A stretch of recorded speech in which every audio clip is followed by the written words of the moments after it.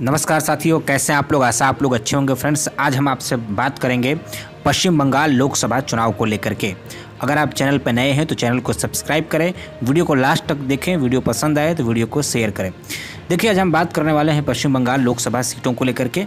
ये हम 2021 में जो पश्चिम बंगाल में विधानसभा का चुनाव हुआ, उन चुनावी आंकड़ों के आधार पर और किसको, किस विधानसभा में, किस लोकसभा में कितने वोट मिले, उन्हीं वोटों को अगर हम सीधे जो है कि लोकसभा सीटों में कन्वर्ट करें तो किसको खाते में कितनी सीटें जा रही है? क्या भारतीय जनता पार्टी को नुकसान होगा? या ममता बनर्जी को फ़ायदा होगा? ये सारी चीज़ें उसी विधानसभा 2021 के मिले हुए मत प्रतिशत के आधार पर हम आपको बताने वाले हैं। आपके सामने हम लोकसभा चुनाव 2019 के आंकड़े रख देते हैं। कि पश्चिम बंगाल लोकसभा चुनाव जो 2019 में हुआ था, वहाँ की स्थिति टोटल सीट जो है यहाँ पे देखिए, बयालीस सीटें हैं, उसमें टीएमसी को 22 सीटें मिली थी वोट परसेंटेज 43.69 था।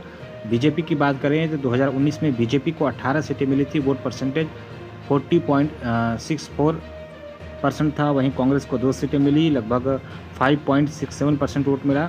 सीपीआईएम को कोई भी सीट वहाँ पे नहीं मिली 6.34 परसेंट वोट मिला।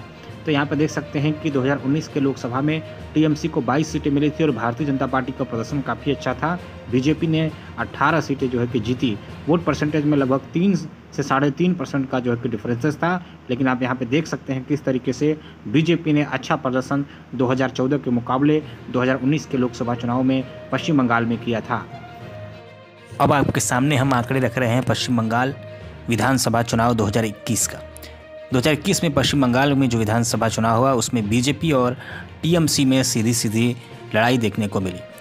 2021 के चुनाव के नतीजे आपके सामने मैं बताऊँ कि टीएमसी को यहाँ पे 215 सीटें मिली, बीजेपी को 77 सीटें मिली, कांग्रेस को ज़ीरो, सीपीएम को ज़ीरो और अन्य को भी दो सीटें मिली।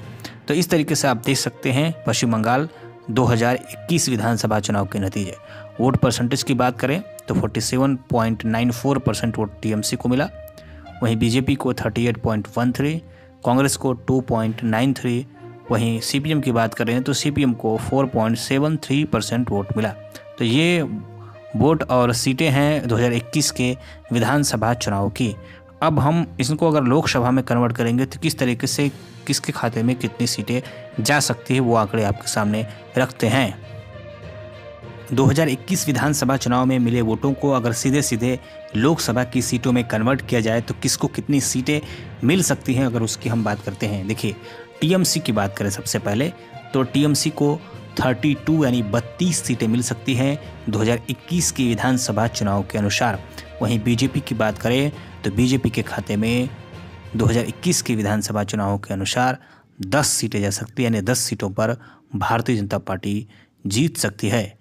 यानी यहाँ से आप देख सकते हैं कि 42 सीटों में भारतीय जनता पार्टी के खाते में 10 सीटें और टीएमसी के खाते में 32 सीटें जाती हुई दिखाई पड़ रही हैं। ये 2021 के विधानसभा चुनाव के नतीजे के अनुसार है। तो यहाँ पर जो आंकड़े हैं, उस हिसाब से टीएमसी को 10 सीटों का फ़ायदा हो रहा है। वहीं बीजेपी की बात करें तो बीजेपी को पिछली बार की अपेक्षा आठ सीटों का नुकसान हो सकता है। यानी टीएमसी 2021 के विधानसभा के अनुसार 10 सीटें ज़्यादा जीत रही है। बीजेपी को आठ सीट का नुकसान